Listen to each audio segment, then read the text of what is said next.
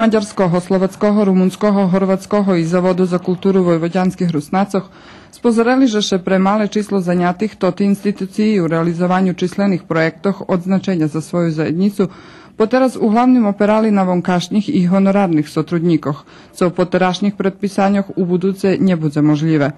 Pokrajinski sekretar Slaviša Grujić vyznačal dobre sotrudnictvo vladi Vojvodini so zavodami od ich snovanja 2008 roku i najavil, že im pokrajinska administracija i u buduce bude pomahac.